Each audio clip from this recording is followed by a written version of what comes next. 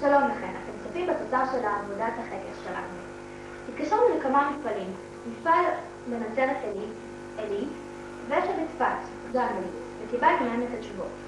אז בואו נשמע. השאלה הראשונה הייתה, מאיפה מגיע הקפה למפעלים שבמדינת ישראל? התשובה שקיבלנו היא שהקפה מגיע למפעלי ישראל בעיקר מאורגנדה. אורגנדה נמצאת באפריקה, מדינה גדולה ליד קניה. השאלה הבאה היא, האם כל מיני סוגים של קפה עוברים תהליך אותו הדבר? או שבכל קפה מוסיפים משהו לטעם שונה? בדרך כלל התהליך הוא אותו דבר. האם הקפה מגיע תמיד מאותה מדינה? בדרך כלל הקפה מגיע מאותה מדינה, אורגנדה.